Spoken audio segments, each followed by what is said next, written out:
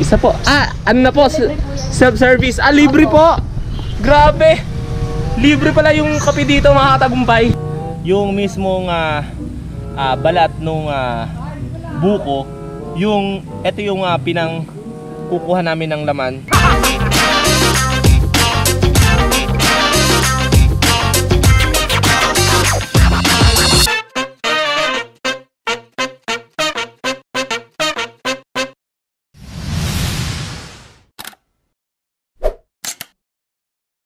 So ayun mga tol, ah kape muna tayo. Kasi hindi pa tayo nagkakape. Try natin kung meron tindang kape dito kala ate. Okay? Kape tayo. Ayun oh, meron. Ate, morning. May kape kayo? Meron kayong kape? Opo. Barako po. Meron. Ay, isa po. Ah, ano na po? Self-service. Ah, libre po. Grabe. Libre pala yung kape dito mga katagumpay. Ayun oh. Maya maya po, pwede. so, inalok tayo nila ating kumain. Okay. Ito yung kay Maxine. Si Maxine nandun. Ayan, si Maxine, oh. Makikita nyo. Ayan, si Maxine. Mamaya pupuntahan natin siya, mga katagumpay. So, ayos din pala. Kasi, dito pala sa may ah, tabi ni, ah, ng bahay ni Marcos, mga katagumpay. Meron silang libreng barakong kape. Terrace Mansion na po. Oo. ano po ba ito? Kape Kabuyaw? Kape Kabuyaw po ba ito? Ah, so ayun, nakarating pala dito ang ah, ang ah, kape ni boss. Alright? So check natin, titikman natin mamaya yung ah, kapeng ah, kabuyaw mga katagumpay. Isa din to sa delicacies mga katagumpay ng kabuyaw eh. Okay, kapag ka nagawi kayo sa kabuyaw, try nyo pumunta sa Kasile. Try anong pangalan nitong shop, ano nyo? Shop nyo? Terrace Mansion. Pati itong tindahan. Terrace Mansion na din. Okay, puntahan nyo itong Terrace Mansion mga katagumpay. At pag kumain kayo dito, meron kayong libreng kaping barako.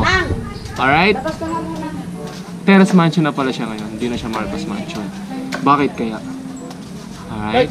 No, bakit? Bakit Terrace Mansion na to? Ay, hindi lang po sa kantin lang po. Ah, sa kantin lang Pero pala. Marcos po talaga. Ah, pero Marcos talaga. Okay. So, okay lang. Ang title nito, libreng uh, kape ni Terence, Terence sa mansion. Alright? Pakita ko sa inyo mga katagumpay. Yung mga bikers. Okay? Ito may mga bikers dito. Ito. Ayan o. Shikad.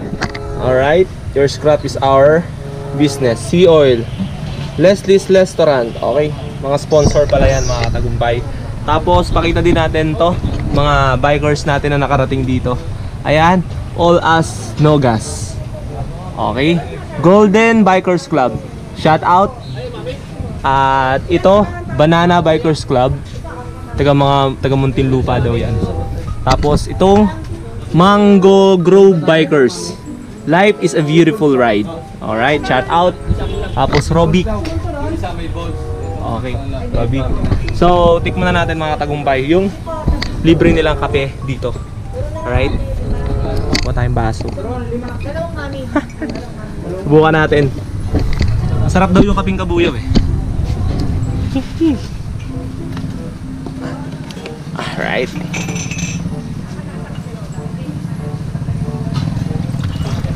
Oh, Teres, kainan na, tere, kainan. Ah, tere kainan. Mamaya, makasabihin naman yung mansion ko na yan. Laki ng mansion nyo ate. Laki ng mansion nyo. so, tingnan na natin mga tol.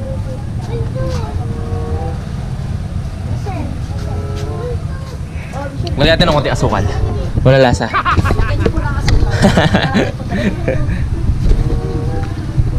Lagyan natin ng konting asukal mga tol.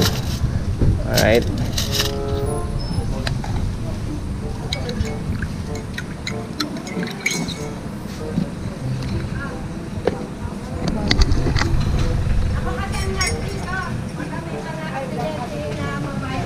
Mm, kayo po.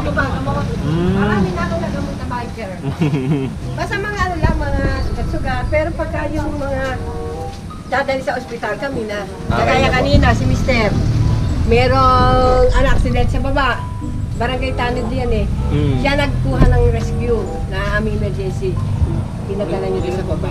Ah, Pagka mga nababalian naman, siya na rin, pagka niya. Ah, okay. Eh ako ang ano dito, ang kumbaga yung nagpe-first aid. First aid po. Oh, Hindi, ako kasi pagka ganyan may ginagamot ako, hindi ako nag-ano sa mga Facebook. Hindi ko hindi pinupusa ba? sa sarili Ah, ko. okay. Nay, gusto niyo po ng number ni Sir Rudy Deres. Kilala niyo po? Ay, kilala ako nun! Ah, kilala po. Meron po tayo. so mga tagumpay, napapansin nyo sa mga vlogs ko, palagi tayong nagkakapi muna. Kasi para, syempre, yung utak natin tuloy-tuloy. Okay. Wala kilala ko nun. Apo. Ano pong name yun, Nay? Sare! Tere, si Ate Tere. Ah, okay, si Ate Tere. Kakamusta natin siya kay Sir Rudy. Tingin tayo ng mga tinda dito. Bibili tayo. Okay. Ano ba mga tinda dyan, bossing? Ah, pares. Pare, Isang beef pares. Pares to. ito yung... Yan yung mami. Iba Mami. yung sabaw ng mami. Ito Iba yung is- sabaw ng pare. Pares, okay. Sige, bossing, isang ang ah, mami. Naka-shop lang na Alright. Nako, hindi ako naka... yan, bossing, ano ba yan? Ito, pabili ako ng ah, tofu lang, bossing. Tokat baboy. Oh, tokwa lang, boss. Walang baboy. Walang baboy. Oh, tsaka itong Lupya. lumpia. Alright. Ilan lupya? Isa lang, bossing. Okay, sarap yan. Kakain muna tayo, hindi ba tayo nakakain mga katagumpay? Pero at least meron na tayong libreng coffee. Okay? Si Ate Tere. Kayo ba yung nag-vlog sa ano? Sa... Nag-vlog sa Rusi. Oo, oh, yun. Mm. Yung lalabas nilang NMAX. Ah, nabago. Oo, sir. Panood yun. eh, ito na. Wala pa daw, eh, hindi pa daw lumalabas eh. Hindi pa nga eh. Oo. Pero malapit na. Sure na, ngayong February siguro. Ah. Right. Napanood doon ni Kuya yung vlog natin sa Rusi.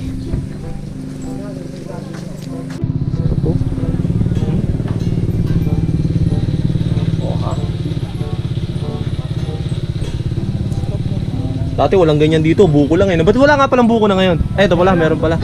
Mamaya magbubuko tayo mga katagumpay.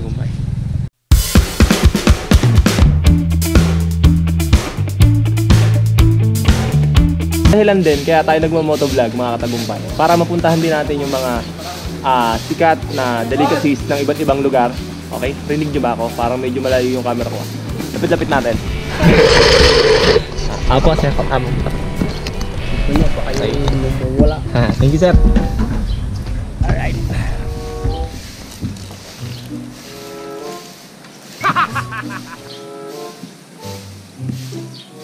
Hop.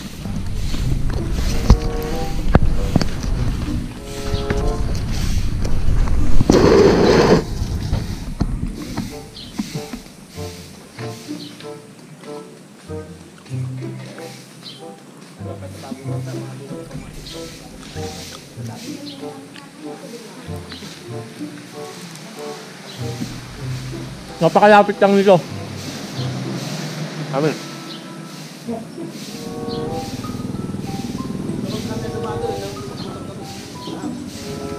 Mamaya, bibili tayo ng buko. Bibili natin yung buko nila.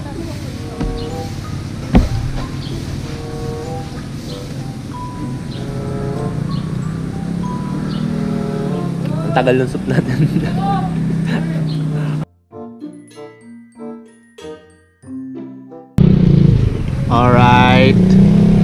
Salamat pre ah. Thank you. Ito na yung in-order nating mami mga tol. Oh my god. Meron tayong tofu tapos mami. Thank you pre. Salamat. Oy, spices. you know? Yung spices oh. Mura lang dito mga katagumpay. Nagre-range lang siguro ng mga 25 hanggang 35 yung ma- mami nila. Kaya hindi masyadong ah, masakit sa bulsa. Okay? Probinsyang probinsya yung ah, presyo. Alright. Know? Shop. Mhm. Tapos ito, lalagay mo dito. Oh my God. Kain muna tayo, kain muna tayo.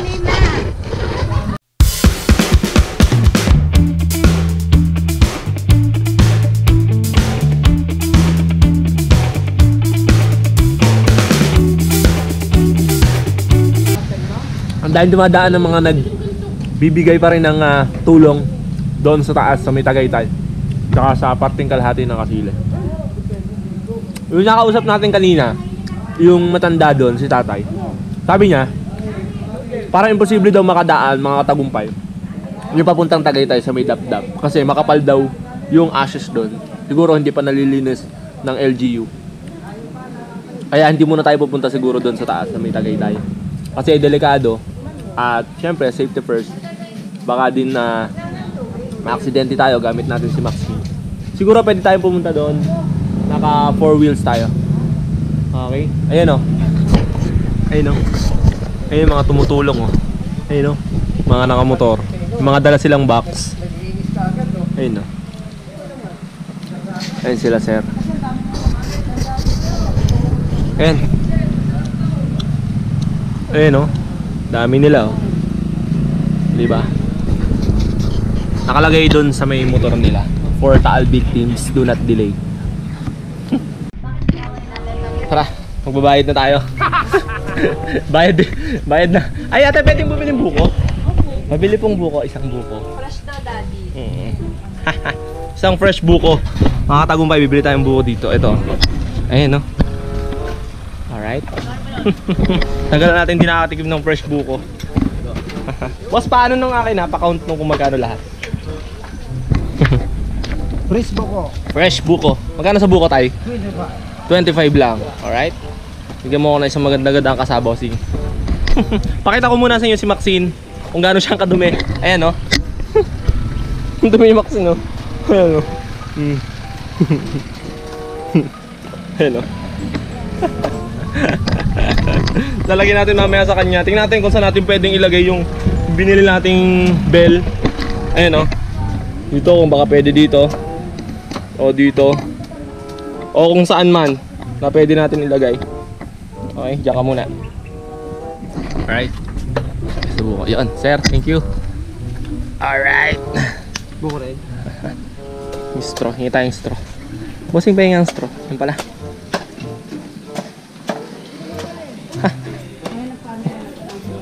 Buko po kayo.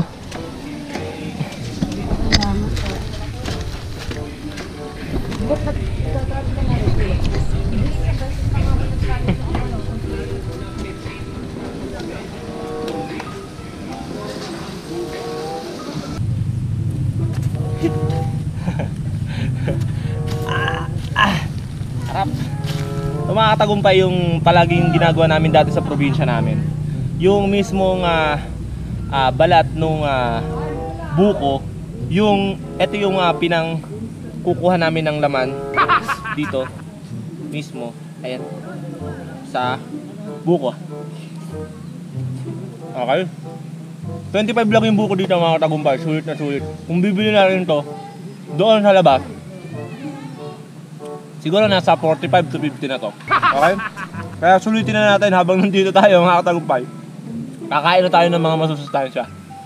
Alright? Hop. Sobrang dami pa rin bikers na dumadating. Kasi, dahil nung time namin, kapag ka pumatak na yung alas 10, kukunti na yung mga biker. Ngayon, napakadami ng addict sa bike. Kahit anong oras, kinakaya na nila. Kabagay, hindi naman masyadong mainit. Mga tol eh. Kasi nung time namin, sobrang init talaga. Kailangan tumigil. Ang dahil na rin, ang dahil na rin improvement nitong tindahan. Kasi dati to, ang tinitinda lang talaga nila, buko.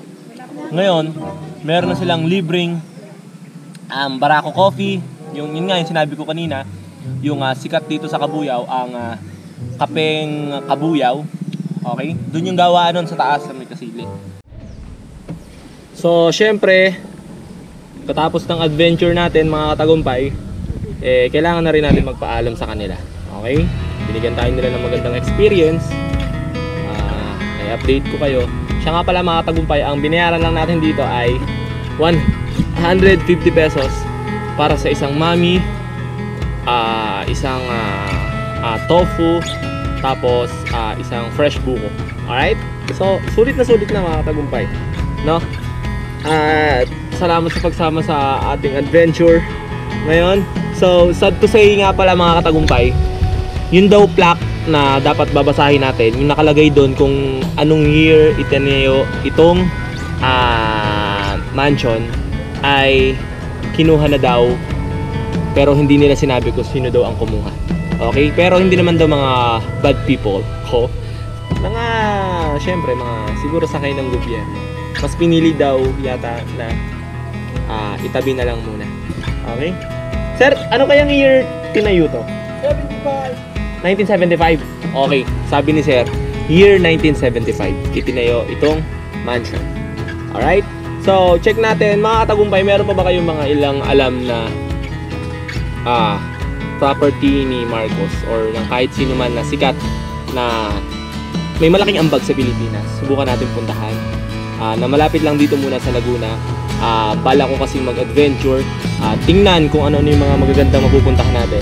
Mga falls, alright, dito sa mga parting Laguna. Check natin. I-comment ko lang sa baba mga katagumpay kung ah, ano ang magandang puntahan at gusto nyo malaman dun sa lugar. I-comment nyo lang sa baba. Ah, check natin kung ang mapupuntahan natin. Alright? So, syempre, big shout out sa mga magko-comment. At maraming maraming salamat sa pagsama mga katagumpay. Kung bago ka pa lang sa channel ko, please click mo na yung subscribe button at notification bell para ma-notify ka palagi. Alright? So maraming maraming salamat sa pagsama sa bagong adventure natin at sigurado ako puntahan nyo lang ito bago kayo pumuntang Tagaytay. Mas piliin nyo na dumaan dito sa may Pulo exit. Tapos puntahan nyo tong ah, bahay ni Marcos. Ayan. Marcos Mansion. Ayan.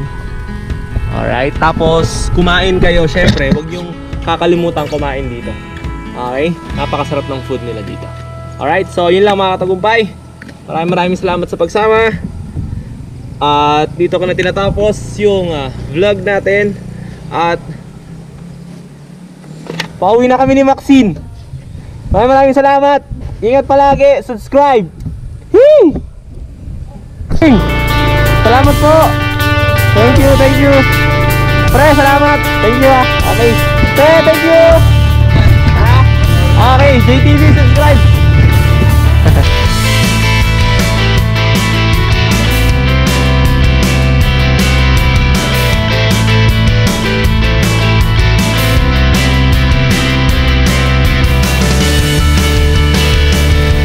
Kano po yan? Donation nyo? Donation? Ah, okay po. God bless po sa inyo. Sila nakakapunta sa evacuation kaya dinadaan. Okay po. Ay! Sila. Mga tagasan po kayo, Nay? Muntinlupa po. Muntinlupa. Mga guro. Ah, guru po. Okay po. God bless po. Makikita niya mga katagumpay. Tuloy-tuloy pa rin mga tumutulong. Okay. God bless po sa inyo. God bless. okay po. Ingat po kayo.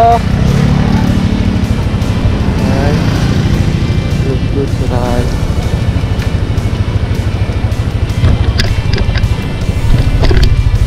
Nakita nyo ba mga tagumpay? Ha? Ganon! Di ba? Yung mga hindi naaabot ng tulong, pinupuntahan ng mga ibang lugar. Taga Muntinlupa pa sila. Di ba? Ganon kalayo ng Muntinlupa. Alright? Pinapaabutan nila ng tulong. The best, the best.